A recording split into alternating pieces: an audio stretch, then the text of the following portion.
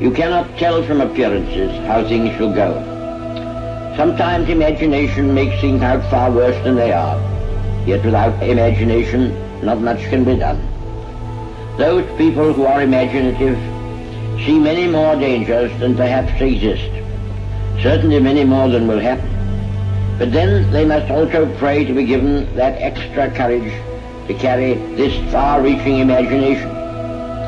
Not less we pray in sterner days. Do not let us speak of darker days.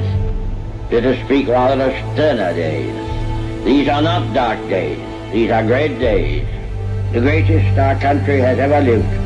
And we must all thank God that we have been allowed, each of us according to our station, to play a part in making these days memorable in the history of our race.